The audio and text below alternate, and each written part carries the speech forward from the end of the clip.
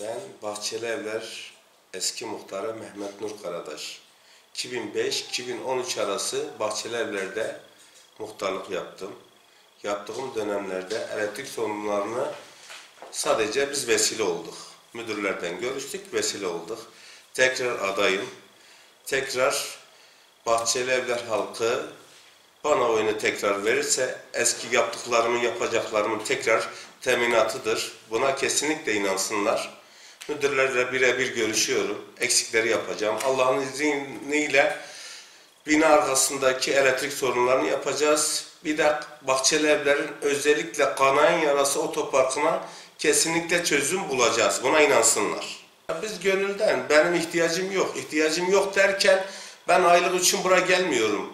Koltukta oturup da aylık alacaksam o bana haram olsun.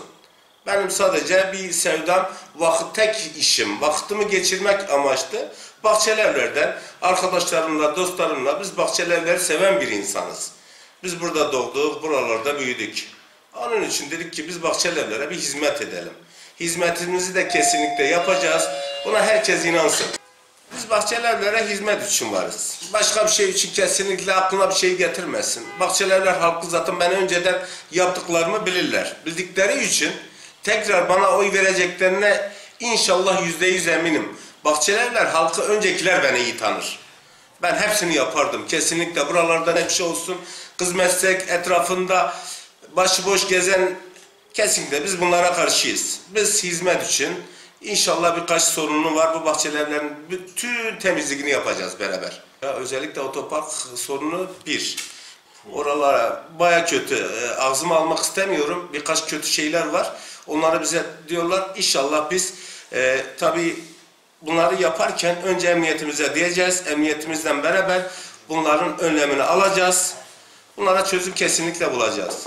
Ha, biz yapacağız. Bunları derken böyle oturup e, koltukta aylık alacaksak bize haram olsun. Tek kelimeyle. Biz bunları yapacağız. Kesinlikle. Otopark sorununa kesinlikle çözümü de Allah'ın izniyle bir yerde e, ismini de şu anda söylemek istemiyorum. E, nereden baksa 70-80 bir arabalık bir yerimiz de var. Oradan sözü de aldık. Bina arkalarında birkaç e, sorun var. Onları da biz yaptıracağız. Yaptırdığımız zaman hiç yoktansa bahçelerin biraz yükü hafifler. Yapacaklarımızı kesinlikle yaparız. Sadece bana güvensinler, gerisine karışmasınlar. Yapacağım dedimse ben bunların Allah'ın izniyle belediye müdürleriyle birebir konuşup hepsini yaparız. Bahçelerler muhtar evini yapacağız. Böyle köşe başlarında muhtarlık muhtarlık olmaz kesinlikle.